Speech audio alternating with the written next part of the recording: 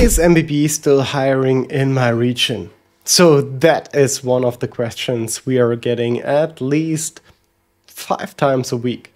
And let me guide you through my approach in answering that question and then what it means for you depending on how important the ultimate goal for you is to break into top strategy consulting. Let's go. Now, every single week we are getting one question over and over again, and that is Is company X, predominantly MBB, still hiring in region Y? And why I do understand why this question is important from a career perspective, it is not. Because ultimately, it's not important from a career perspective if you're breaking into MBB this year or next year or even in two years. Ultimately, what is important for most resumes is that you are doing it at all. And while it is important to be informed on the current market conditions, it's even more important to be clear on priorities on your career. And you need to find a supporting infrastructure and system that has no expiration date to it.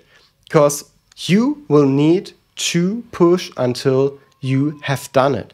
And you will not just like stop because there was whatsoever challenge to overcome in the way, be it a rejection, be it a non invite, be it a whatsoever you are experiencing on the way, right? Um, life is complex and many things can happen.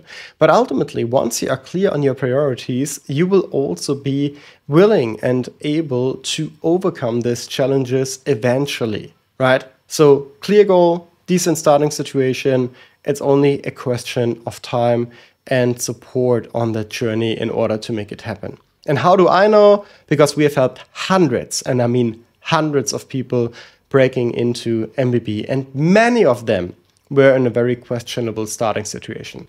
Um, that doesn't mean that everyone can do it, right? So let's also um, hold on here because you will need to bring at least a decent profile so that there is a chance that you will be invited to interviews in the next couple of months. And what we are doing at the MBB offer machine is uh, to pretty much tell people if they do bring a decent profile or if they don't. And we are brutally honest with this because there is no upside for no one if we would not being direct here. So ultimately, and this is what is very important and also the core message of this video. If you're clear on your priorities and your priorities are breaking into the top tier of strategy consulting, then you will also need to accept that for some it will just be a longer journey. However, it's a journey that is worth it. And if you are in the position to push hard for this, and if you are willing to overcome the challenges on the way, get the best professional support to use the least amount of time in order to get there.